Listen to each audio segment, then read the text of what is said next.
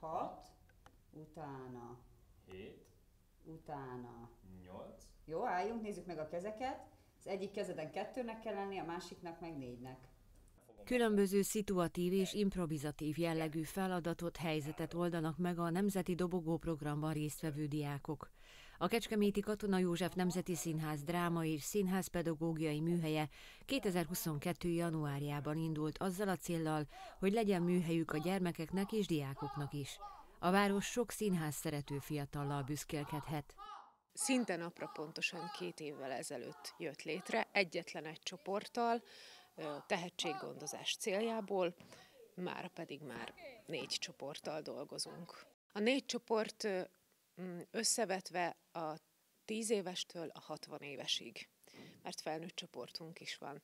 A diákok, akikkel dolgozunk, pedig 10 évestől 20 évesig vannak. Tehát 20 fölött már a felnőtt korosztály. Hárman dolgozunk jelen pillanatban, Szabó Dorottya színművész, Varga Huszti Máté színművész és jó magam, mi hárman dolgozunk a gyerekekkel, és néha hívunk vendégművészt a társulatból, például Nagy Nikolett személyében, aki táncművész, Aradi Imre dolgozott még velünk korábban, így mindig próbálunk valami újdonságot belevinni a gyerekeknek.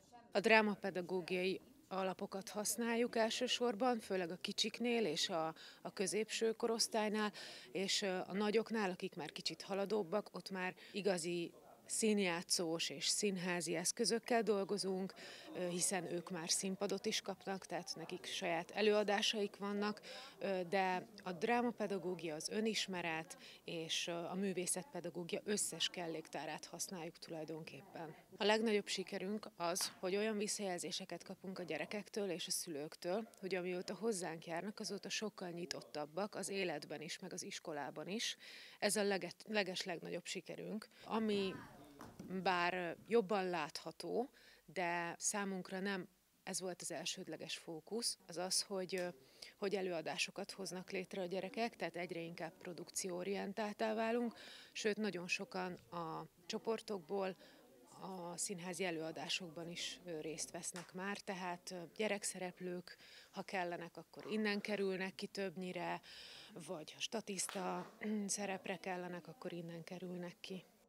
A négy csoportból három a fiatal korcsoportot karolja fel, a Szikra, a Mustra és a Dobogós csoport tagjai egy kiváló alapot kapnak arra, hogy színészi karrierbe kezdjenek, ezt a pályát válasszák hivatásuknak.